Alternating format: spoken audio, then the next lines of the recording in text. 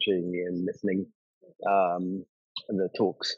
Um, today, I'm going to talk about uh, multilingual language, uh, multilingual language models, their evaluation, and some of the impacts that these models have, um, especially in the context of uh, equity. Um, all opinions are my own, by the way. Um, they don't reflect Microsoft's uh, positions on some of these things.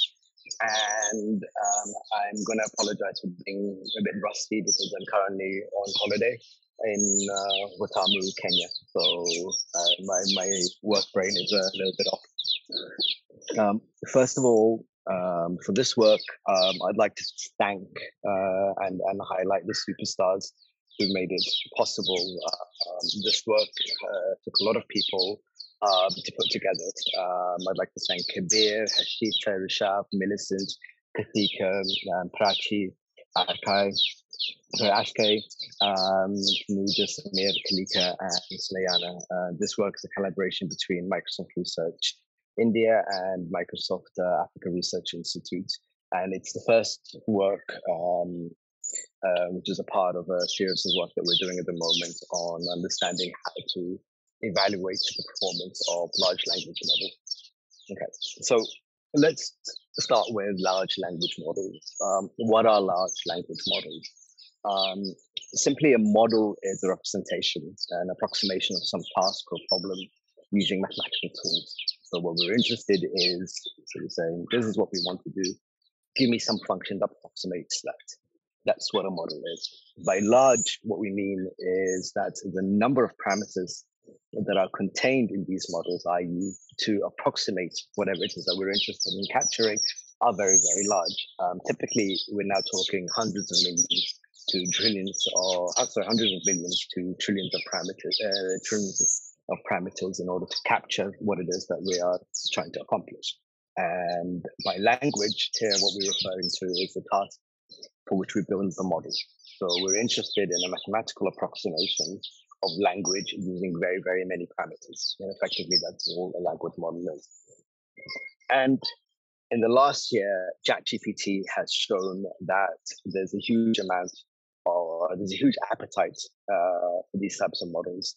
Um, it's been a runaway success, and success here I put an asterisk on because it depends on how you define it. But in terms of the time to reach 100 million users, it's by far the fastest adopted application that we've seen. It took ChatGPT approximately two days to reach 100 million users, um, which tells you something about the appetite uh, for these models and the capacity that they have. Now, having said that, um, let's talk a little bit about what it is that these models do.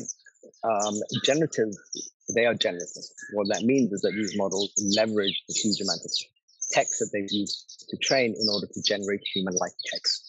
And we emphasize human-like text because it's not a human writing it, it's a model, and it will have all the biases, all the deficiencies of a model. Um, we've seen these models um, take over uh, in terms of the imagination of users um, we've seen them excel in a huge range of tasks, including natural language comprehension, logical reasoning, text generation. And via that, they're now transforming the applications that people use. Uh, so the question is, for us at least, how well do these models perform for the world? And if we think about the world, we have to think about the languages that people speak across the world. So how well do these models perform for non-English languages? Um, before getting into that, let me just go back a bit and let me talk about a little bit on the success, what drives the success of these models. Um, it comes from three components. It comes from compute, data, and parameters. And over the last 10 years, what we've observed is as we increase compute and we increase the data size and we increase the number of parameters, yeah, we get a almost linear correlation in the drop in the test loss, meaning that the performance of these models increases. Yeah.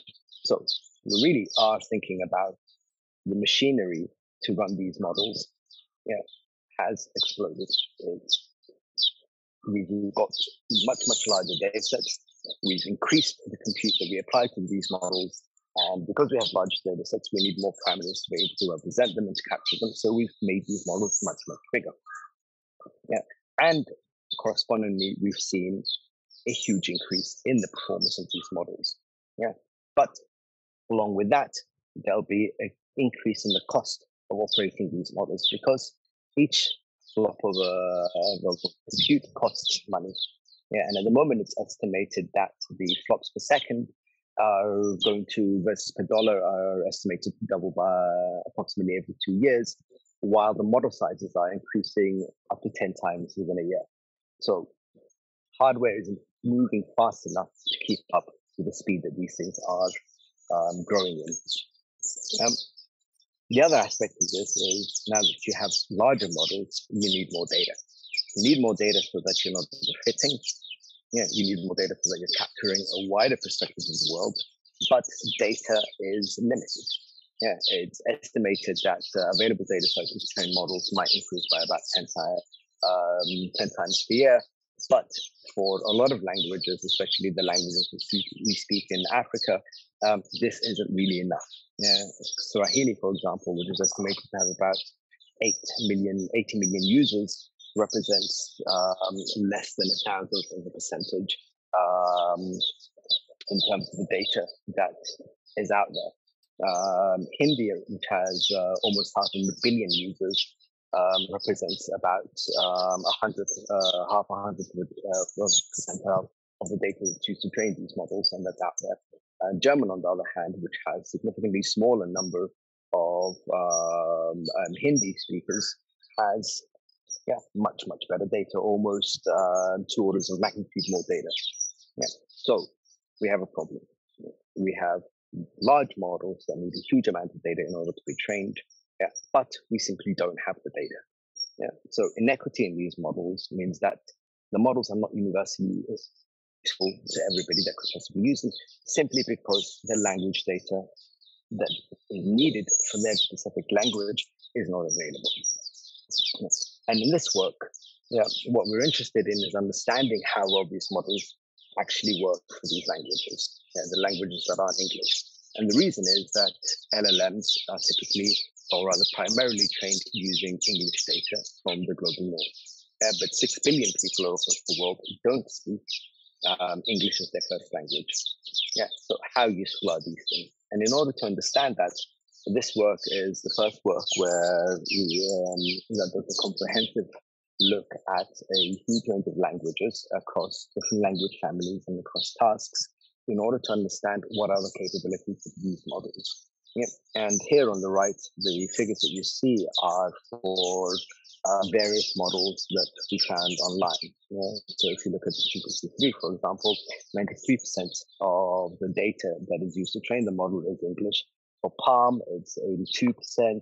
Bloom is a little bit better. It specifically tries to capture a wider range of languages, but still 30% of the data that it uses is English.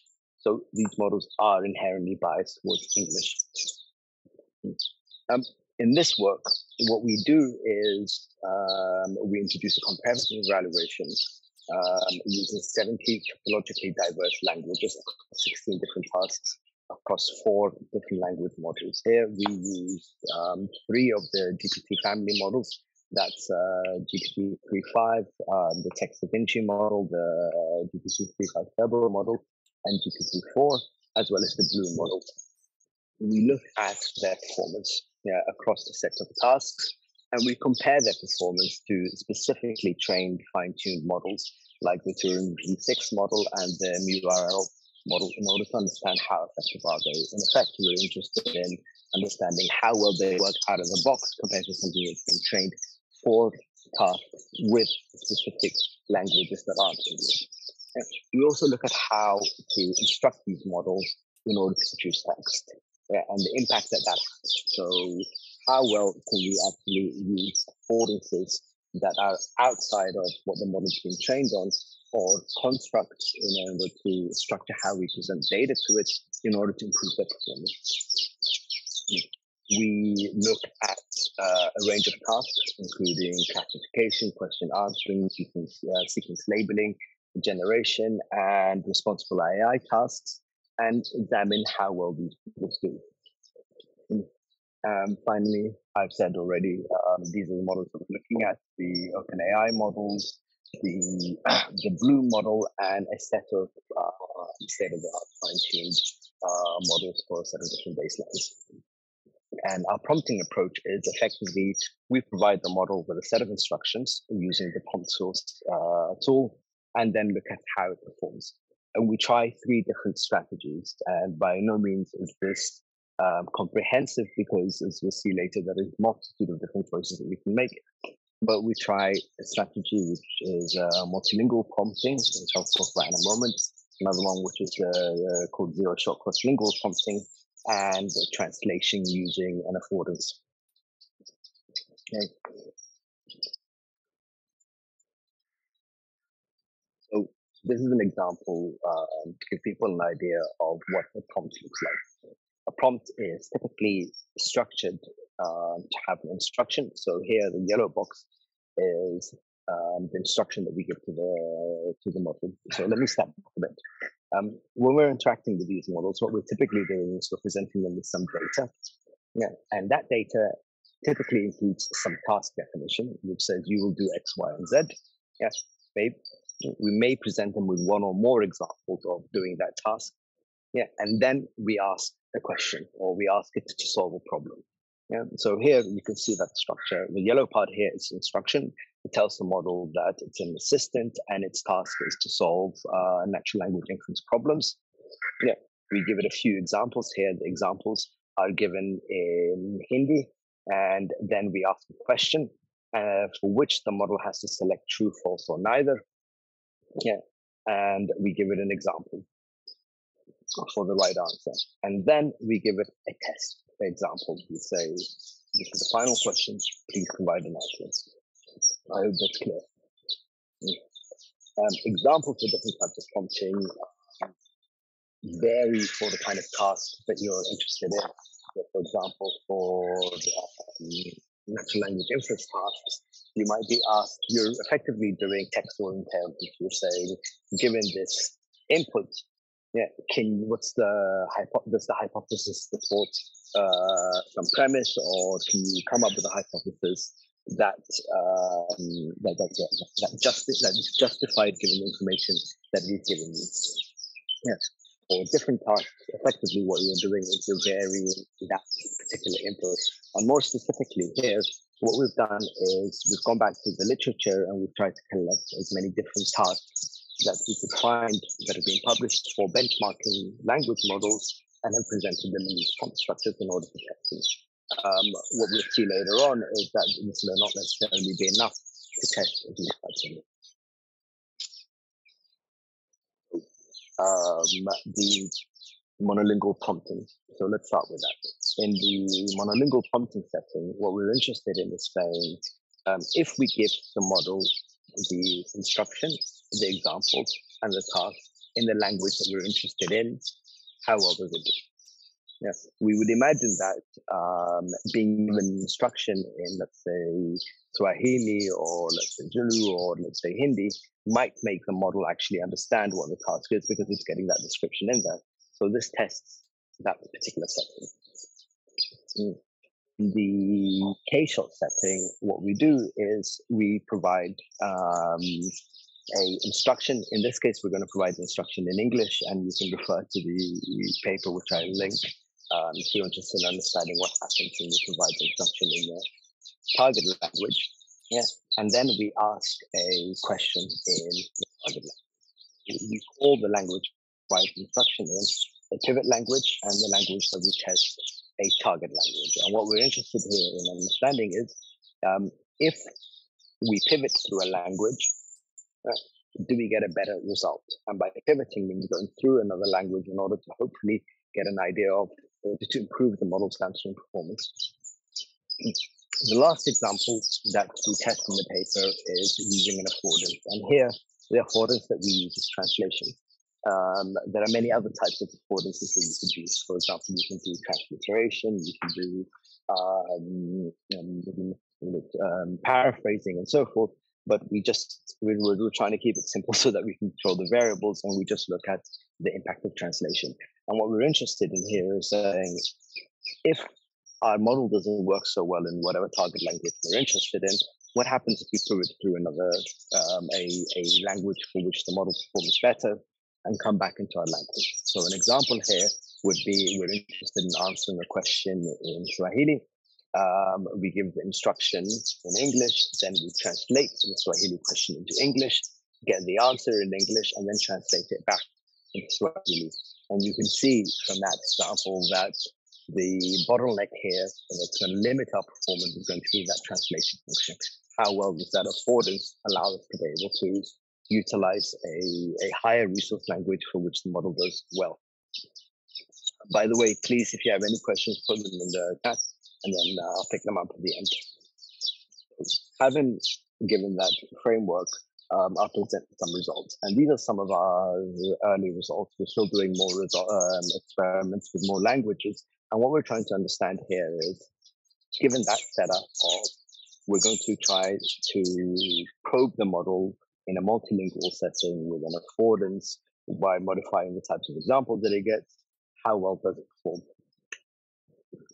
So the first thing that we find is that the GPT um, 3.5 models typically perform worse than the state of the art models. And by the state of the art models here, I mean the models that are specifically trained for tasks with extra languages. So out of the box, they will not work as well as a model that is trained with uh, Swahili data or trained with Yoruba data, for example.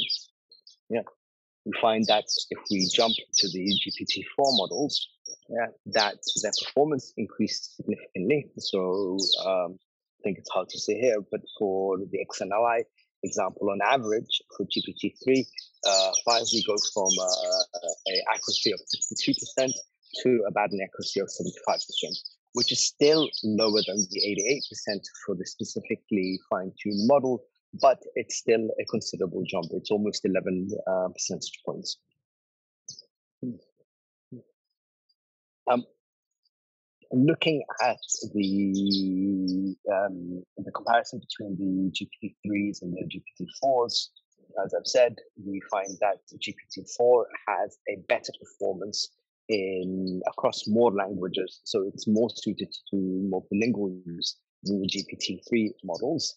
Yeah, but um, um, um, when when we look at the really really low resource languages, we also find that translating to a pivot language, typically English, gives you a higher uh, performance. In fact, we did the experiments across the combinations of languages and so forth, and we found that typically, um, regardless of what the task language is, providing instructions and examples to the model in English, regardless of your target language, performs better.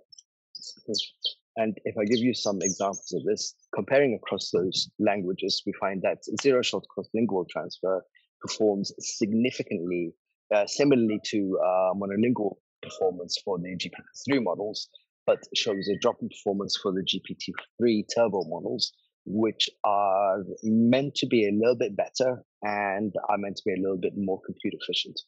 Yeah we find that this is especially worse for languages which are especially low resource, uh, such as the Quechua languages, uh, the Quechua language which is spoken in, in the Andes, I believe, and uh, Haitian Creole. We find that grounding the model through a monolingual prompt yeah, helps it understand these languages better, and that results in a better uh, prediction.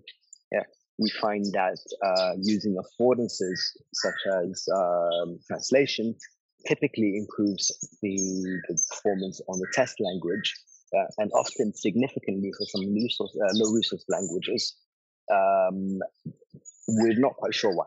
You know, we can imagine that the reason might be um, because uh, there's a lot more data available in English, but then we have to contend with what is the translation quality when you go from the the, the target language to the pivot language.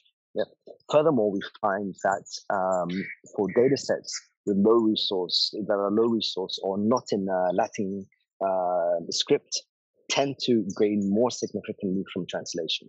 So if you're working in Hindi or in Arabic, instead of querying and interacting with a model in English, sorry, in, in, in Arabic or Hindi, you are more likely to get a better result if you translate that input to English and then translate it back again. So round tripping to English seems to be a strategy that works well for these types of low resource languages. Now, having said that, the question that appears, which is, do you translate every language? And how, what, what, what's the impact of this translation? Um, it turns out that translation isn't always a good thing. Yeah. Here we look at um, what's the impact of translating through a different language. And we find that for some languages, such as Burmese here, yeah, um, which by this language classification is a fairly low resource language, uh, language improves significantly when you translate to English. But then if you look over here in the middle, when you, when you go to languages such as English or Spanish, uh, sorry, uh, French or Spanish or Chinese, which have large data sets on their own, uh, translating through English does not actually help. It might actually hinder your performance. Yeah. So depending on the kind of language or the, the resourcefulness of the language that you're dealing with, you may you may not get a a, a, a boost through English. More importantly, yeah, for some languages which are high resource, the performance is already similar to English. It's less, but it's, it's similar, and translating to English gives you a lower performance, which raises the question of what is it that you're getting when you translate into English for things like Burmese, and you're not getting when you translate to when you translate languages like French. And we think that this has got to do with the context and the nuances of the language, and this is work that we're doing. So to give you a little bit more detail, um, when you have a, such a low resource language like Tamil or Malayan uh, or Basque, um, when you go to English, you're covering a large chunk of that language, you're covering a decent enough chunk of that language that you get the value of English. When you go to French, the model's already good enough in French. But when you translate, you lose context, you lose the nuance of the language. Yeah. So that pushes your performance down. Yeah, which means that translation helps you only to a certain extent. Yeah. If we look at how we prompt these different types of models, what we find is that for low resource languages, yeah, both translating and um, looking at how to structure examples to it um, makes a big difference. Again, this goes back to um, the, the impact that um, having a favorite language has. Yeah. And, but translation doesn't always solve everything.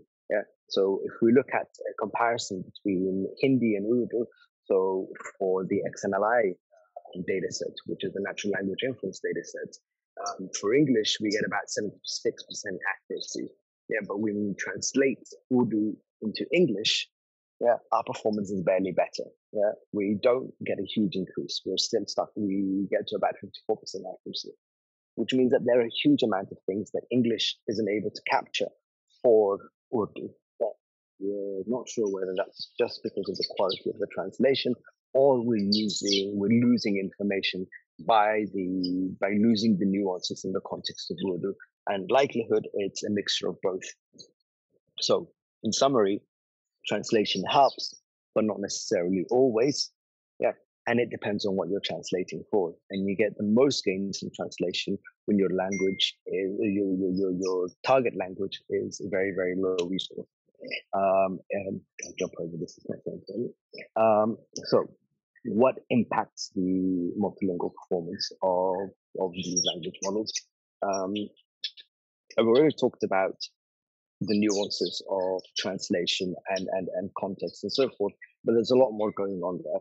The first thing that we looked at here is tokenization.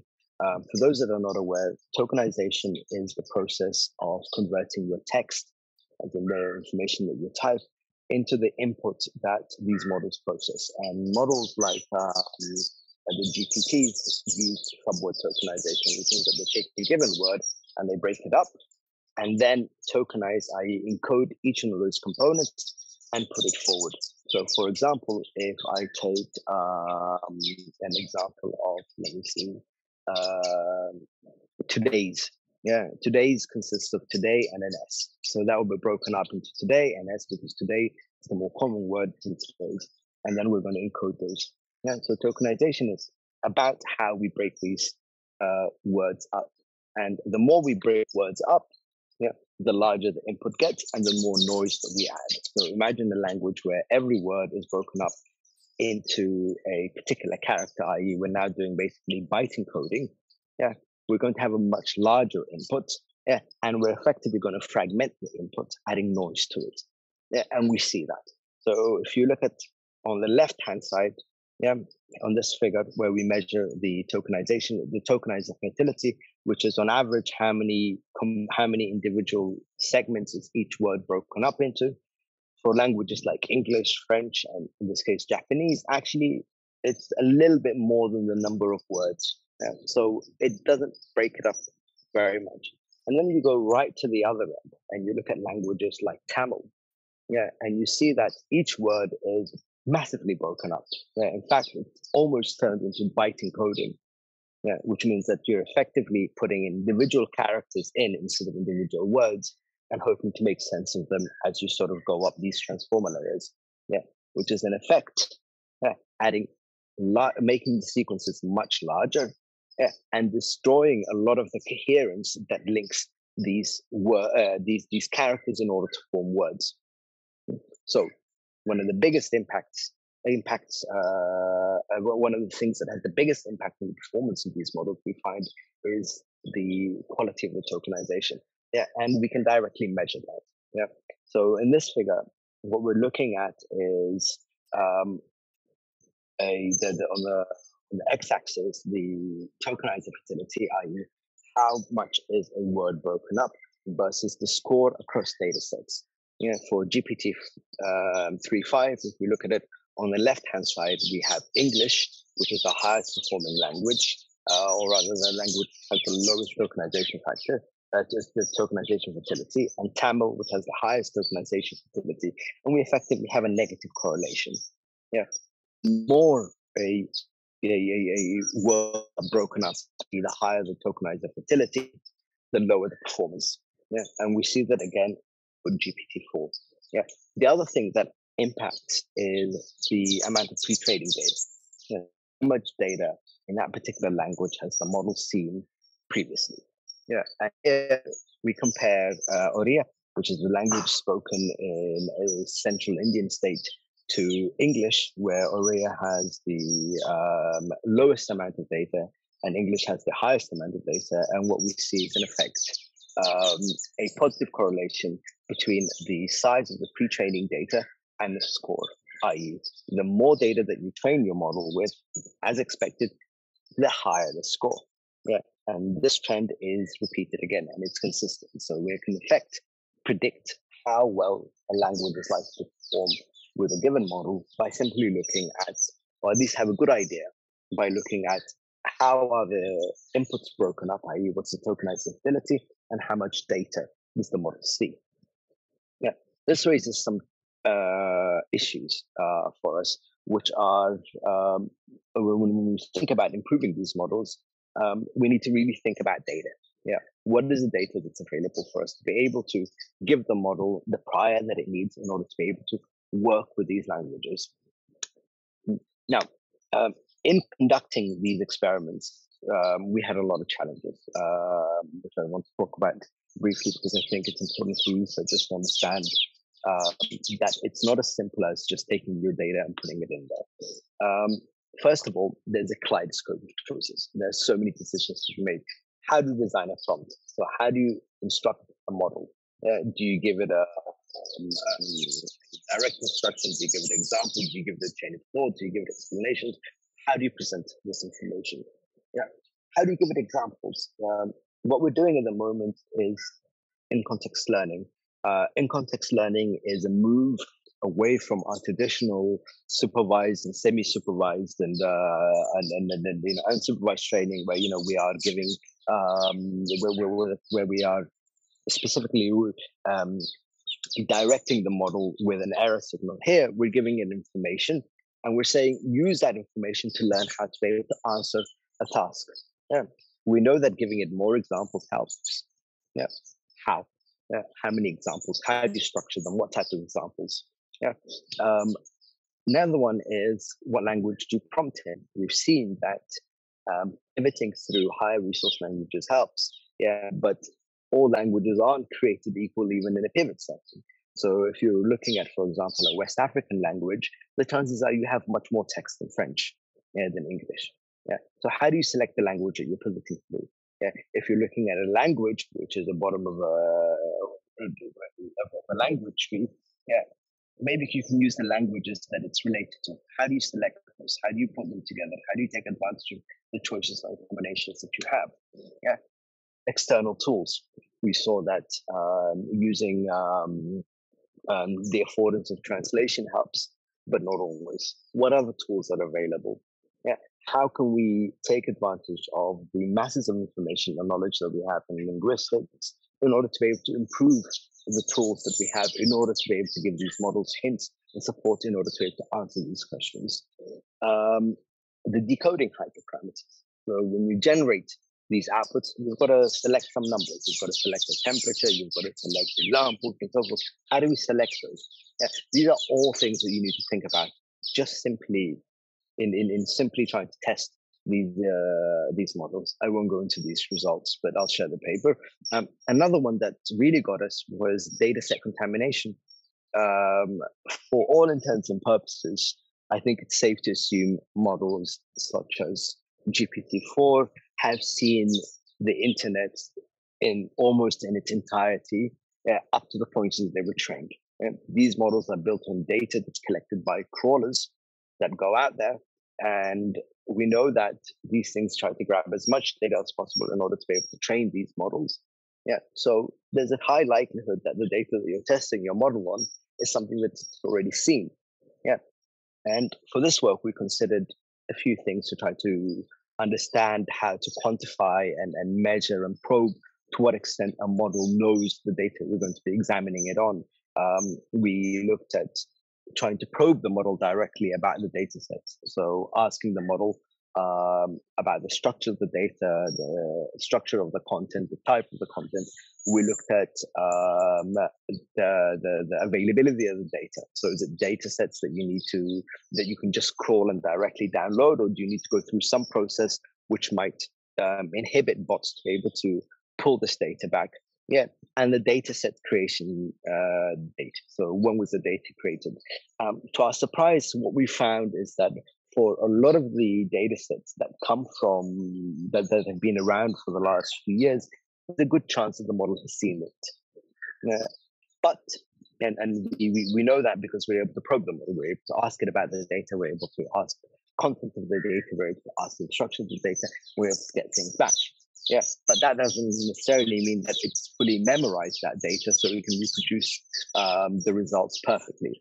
Yeah, so you must always be um, considerate of what data that you are probing these models with and how you're probing these models. So, in summary of this part of the talk, there's a significant disparity between the performance of LLM in English and non-English uh, languages, especially for low resource languages and non-Latin script languages. So the models don't work so well when you're not using English or a Latin, a non-Latin script language um, we saw that um, um, fine-tuned models are able to outperform these models on specific tasks, but now you're taking on an extra cost. You've got to curate data and you've got to fine-tune a model for that particular task. Uh, and it's often difficult to do better than translating uh, into a um, a pivot language. Yeah, when you're when you're dealing with a low resource language yeah, which is a shame because now you're using a pivot language, which means that you're losing context for that language. Yeah. And tokenization is a big problem. Yeah. Because models, uh, and, and, we see that a lot in non-Latin script languages, because these models are predominantly trained in, in, in, in languages that are coming from the global north and are predominantly written with a Latin script. It means that when you're not dealing with that context, you have a problem that you have to try to figure out how to go about solving. Um, I want to, having given you that uh, sort of run through of the paper's results, I want to take a slightly different perspective and uh, look at what this means for equity, specifically um, because we're in Africa and we're interested in how these models serve Africans better, and more importantly, people that aren't necessarily in the global north where um, these models are already there and effectively serving them. And we're interested in understanding why. Okay, so um, I've shown you earlier that the, the, the axis of success were um, compute data size and parameters. And what I'm going to sort of hypothesize is that, that these are also three axes of doom for us. Yeah, because each one of these axes means cost. Yeah, uh, it means an increased cost in the production of these models. Yeah, and it's not just the dollar cost; uh, it's the energy cost. So training GPT three, for example, has been estimated to be equal to um, going to the moon and back in a car, which I think is ridiculous. Yeah, um, larger data sets. Yeah. Uh, we saw that having a larger data set or having a more uh, a larger coverage in the language that you're interested in means that you get better performance. But that also means that these models aren't necessarily data efficient, which means that for languages that are lower resource, we have another problem, which we don't necessarily have, a, or those, at least right now, don't have a solution for. How do we deal with that data gap? Yes. And low resourcedness here isn't just structural. Sorry, it isn't just about the, the volume of data that you have, but it's a structural and uh, systemic thing. Yeah, it goes to the heart of access to technology. There's huge amounts of French data out there because there's a lot of people in in in in in in, in French speaking in, in France that have access to computers, that have access to good Wi-Fi, good internet. And there's a lot of English out there because a large chunk of the um, global north speaks English. Uh, so we don't we, we need to understand how to be able to address these structural challenges in order to be able to generate the kind of data sets that we can build these models with. Then there's access to expertise. Yeah. And then there's the cost of production. Yeah. How much does it cost to produce this stuff? Who's going to pay for it? Yeah. Task data can be complex and costly to generate, uh, especially for the kind of things that we're interested in. If you're interested in data for things like climate, for healthcare, you're talking about fairly specialized data that's going to be expensive and time consuming to generate. Yes, all of this raises the question of who pays for this. Yeah. Now, another perspective is that typically, uh, at least in when, when years ago, um, we, we, we, we, we were thinking about the notion of machine learning as a service. And the idea was that you know you got data and infrastructure and models, and then users use these models. And that model isn't true anymore. It's simply outdated. Users aren't interested in data uh, in machine learning. Most people don't care about machine learning. What people are interested in are applications and intelligence. Uh, they want to have things do a job for them. Yeah. So what that means is that now we need to have these flywheels that are able to, in effect, um, collect data for problems. Yeah and then build around these solutions. Yeah, so that intelligence can be provided by task specialists. Yeah, who do rapid ingestion of data and update their models and react to the needs of core users. Yeah, what this means is that we now need to think about task efficiency. Yeah, how quickly am I able to get a model to give me an answer, which is dependent on how quickly am I able to get that model the kind of data that it needs in order to generate that answer, and how much can I afford in order to be able to specialize this. So taking advantage of these models again goes back to access and cost. Yeah, and this model is something that we're already seeing, um, especially now that GPT and OpenAI are out there as a service. We're seeing a huge range of model and applications that are being built on top of them. Yeah, but who are these applications serving? Yeah, this is the question that we must be considerate of. Yeah, so that we can understand how useful are they for our context. And if they're not useful for our context, we have to understand how can we modify them for them to be useful for our context. Hmm.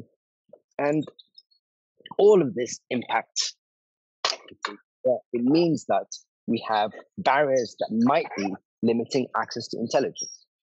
We have people that might be able to take advantage of these technologies, but don't necessarily have access to either the hardware, to the models, to the compute, to the data in order to be able to serve these models as a, a for people. Yeah. So there are possibly two routes, and, and, and this is contentious. Yeah, to to increase access in order to reduce this gap. Uh, one is differentiated access, to commercial models, i.e., you have a one-stop, uh, you know, one-stop uh, solution where you go to with your data and you get a model back. This is effectively what OpenAI is offering. You have data, you buy access to their API, you provide the data to that API, it gives you answers. Yeah, but that's costly. The other is community efforts to generate data, to build models, to build tools, and then put them out there. Yeah, this is DIY. Yeah, but starting from a reasonable uh, position. And for differentiated access, already you're seeing it. Uh, lots and lots of services are now building on solutions from OpenAI and so forth. Um, but they're costly. Yeah, um, this was a, a, grab for DALL-E a little while ago, and what you see is that um, you go up to sixty dollars per month, um, depending on the number of tokens sorry, um, depending on the number of tokens that you're using. Um, no, this is a Midjourney.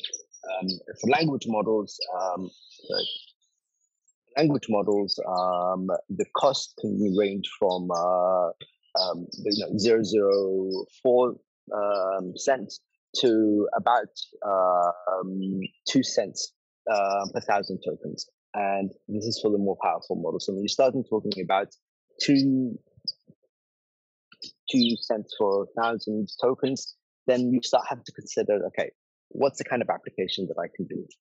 Yeah, uh, thousand tokens isn't huge. If you're asking something to summarize a passage, if you're asking something to generate data, if you're asking something to compare stuff, uh, that two cents will go in a few calls.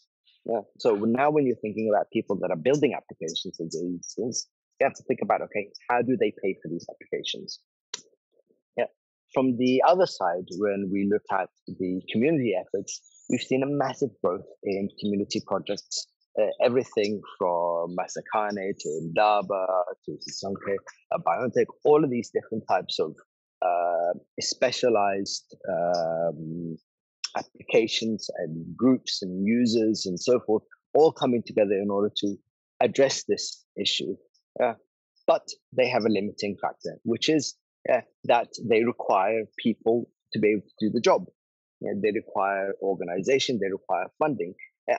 And while community efforts have, by and large, been very successful recently, the advent of these very large models means that we might face some barriers. Yeah. Um, because we're not necessarily going to get access to the weights of these models and even if you did get access to the weights of these models, the cost of running them is prohibitively expensive.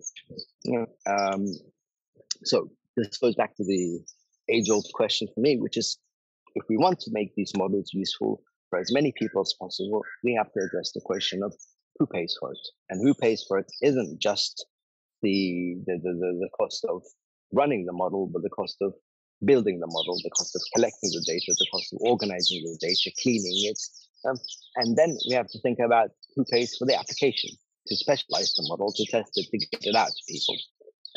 Um, while community efforts are effective, they're inherently, they're, they are inherently limited. They are very complex to organize. Yeah.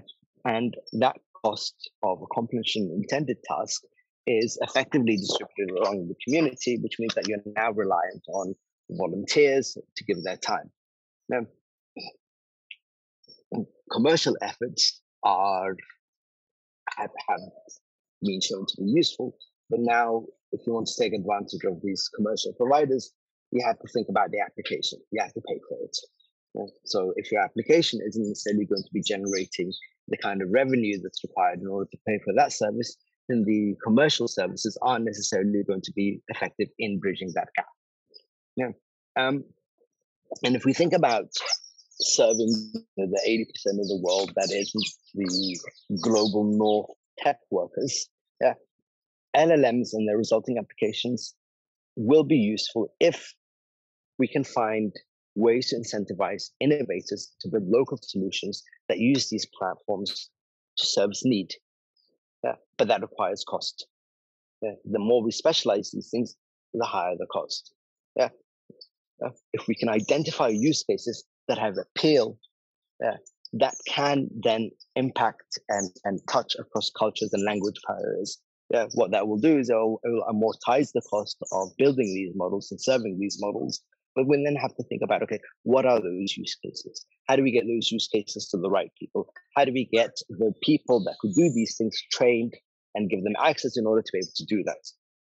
Hmm. So there are inherent limitations that come from the, the, the systemic nature of low resources, which impact how well these kind of models can serve the wider um, the, the, wider needs of people. And these are things things that I think we need to think about as a community. We need to think this technology is out. There's no putting it back in the in the box. Yeah, and it's useful. How do we make it useful for more people? How do we make it useful for the kind of things that we care about?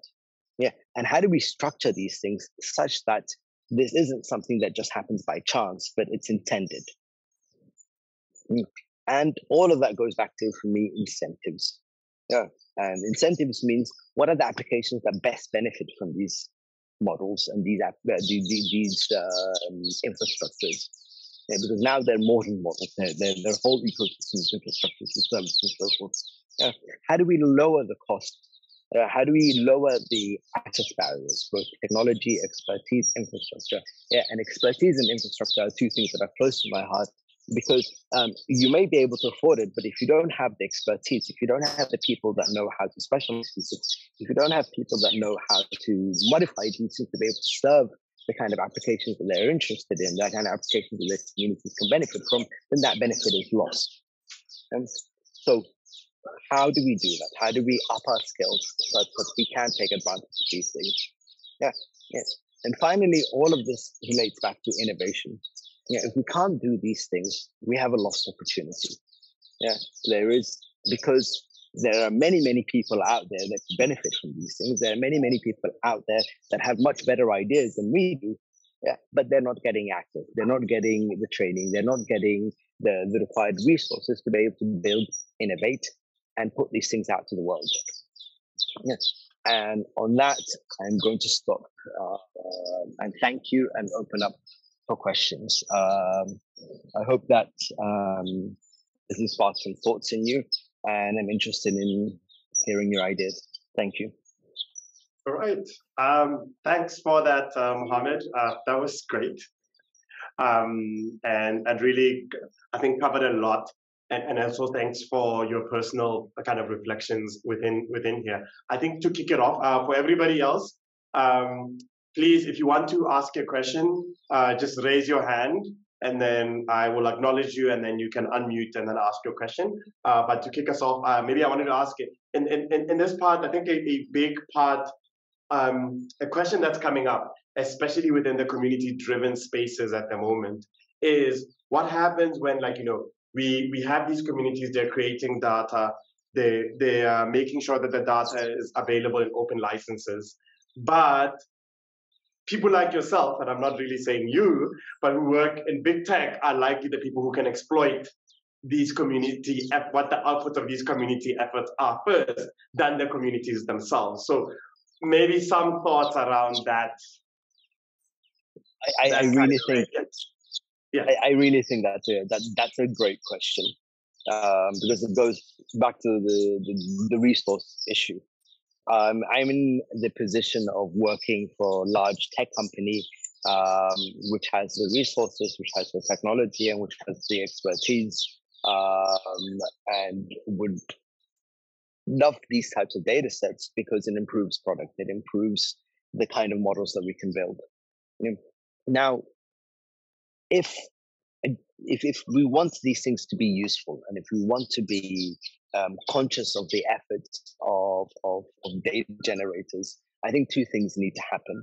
One, an acknowledgement that we need these efforts, that this data has to be generated somehow, and it's not necessarily going to come out of the the, the, the, the pockets of large tech because large tech is not necessarily driven by the, the, the, social impulse. It's often driven by the profit. Yeah. And two, the recognition that because this data is generated um, for communities by communities. You know, they have to have benefit from it.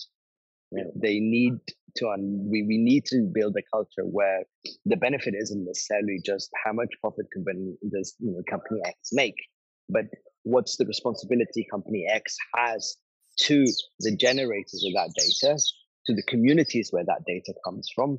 Yeah. And how can they give back the kind of things that they're building to these communities such that that, that there is shared benefit. Yeah. And I think there's another thing which is related to here, which is that that sort of virtuous cycle of if people see benefit from what they're generating, they're likely to more into it. If people are able to take advantage of the outputs of these technologies, yeah, they're much more likely to trust these technologies and generate more material for these technologies to be able to improve. So we need to start thinking about better partnerships, better models for social responsibility that return the benefits of the dynamic data sets that are generated back to the communities that they come from. That's my personal perspective on this. Okay.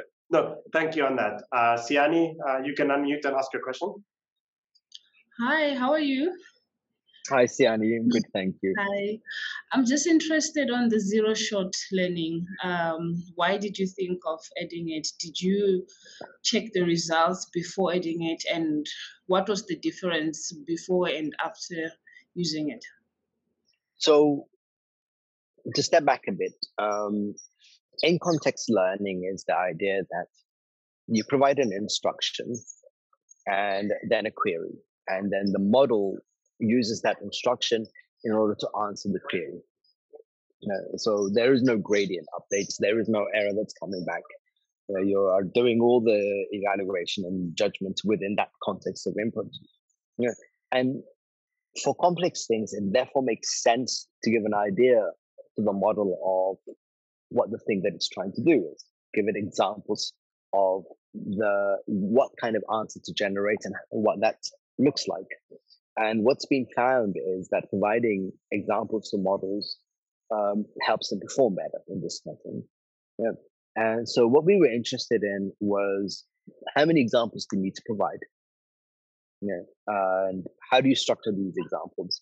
And what we found was that, um, you refer to the paper details, um, for high resource languages for some tasks, you don't need to provide a huge number of examples. Yeah three, four, five examples gives you the same performance as 10, 15, 20 examples. But for low resource languages, you often get a benefit from providing more examples. Yeah, so giving the model more hints and how to answer. Right? So we were exploring that space of how much information to provide and how do you structure that information. And we looked at both um, changing the input language for that information. So instead of using a pivot language to provide the examples, also you providing it in the target language, uh, structuring the examples in different ways, and increasing and decreasing the number of examples. Um, does that does that answer your question, Sian? Yeah, it does. Thank you. Gotcha. Mm, there was a question from um, Abang, uh, he can unmute, but he asked in terms of, I think you had talked a bit about the the cost of training, um, but but but maybe like it will, for for for for a person who is not at the level that maybe uh, of, of of being able to bring up as many GPUs as big tech and all those things. What what is the intuition here outside being able to use Colab for free and then maybe signing up for co, um, what is a Colab Pro or something like that. But what what is actually the scaling requirement, uh, like the intuition that some people should have of if, if, if let's say tomorrow the African Union somehow said we are giving one billion dollars to a African uh, large language model project, how much of it is going to end up being just spent on compute? that that's just that's um okay. So for numbers, um, estimated costs for pre-training gigantic models is sort of estimated in the top end of the tens of billions, tens of millions to the hundreds of millions. Uh, while fine tuning these models is as low as you know hundreds of dollars to millions of dollars, depending on what you're doing. So here we're talking of orders of magnitude difference you know, between what it costs to pre-train a very, very large model and what it costs to specialize an existing model. That's the first thing.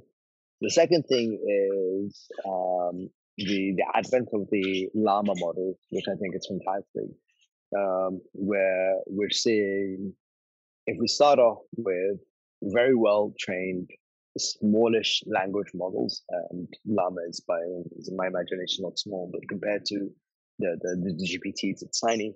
We can do a lot with fine tuning them. Yeah. So what I would think is not necessarily in terms of the cost of training uh, as, as, as, a, as a modulating factor, but the cost of generating data that can take advantage of that training. So I would sort of change the question around a bit and answer what would be the best thing to spend that money on. And for me, the best thing to spend that money on would be data. Yeah, in order to generate the kind of data sets that not just now, but multiple generations and multiple communities can use and reuse in order to bridge the information gap of what can be presented to the models. Hmm. That's where I think our biggest gap is. Okay. No, uh, I think uh, with that, uh, thanks again, uh, Mohamed, also for taking time out of your your your, break and, uh, and, and vacation with your family. Um, it's, it's it's been great. Uh, um, I think this talk has given us a lot to think about. I think there's thanks for the questions that have also come along, and there've been lots of people asking and saying, "Is is the video going to be available?" Yes, it is. it will be on, on our YouTube channel um, later today. I, I pasted our social media stuff so you can join us and also subscribe to our YouTube channel on this on this one. And I think this was a really great way to kick off this this year's seminar series. And we look forward to uh, really having uh, as many of you back um, as, as, as, as possible, and then seeing um, how this kind of area actually um, evolves. Uh, if you will be coming to the Indaba in Accra, uh, there will be a lot of us there as well. Uh, so we do look forward to also meeting in Ghana. There seems to be it's, it's going to be it's massive at the moment. Uh, that's a lot of um, work over the next month. I think is just going to be in getting people there. Um, uh, but yeah, thanks Mohamed. Thanks everybody for coming in, and please do enjoy the rest of your Friday. And for those in South Africa, yeah, uh, keep warm as it's getting very cold over there. Thank you, Mohamed, and thanks everyone. Thank you very much. Uh, I guess uh, the last thing I want to leave people with is if if you're in this position, if you're thinking about these things, don't think about how do I retrain these models. Think about what can I use them to build. What what can I build with them? That's where you have most effect and most impact. Um, understanding what problems that they can solve for you and how you can get the solutions to as many people as possible because that multiplies your impact and then that generates the resources and the data to be able to go further. Thank you. Okay, the last me. thing on my side, can I contact you after the meeting and we talk more about it? Of course. Um, um, I think my contact emails are shared. Please feel free to contact yeah. me. Okay. All right. Thank you. Okay. Bye. Thank you.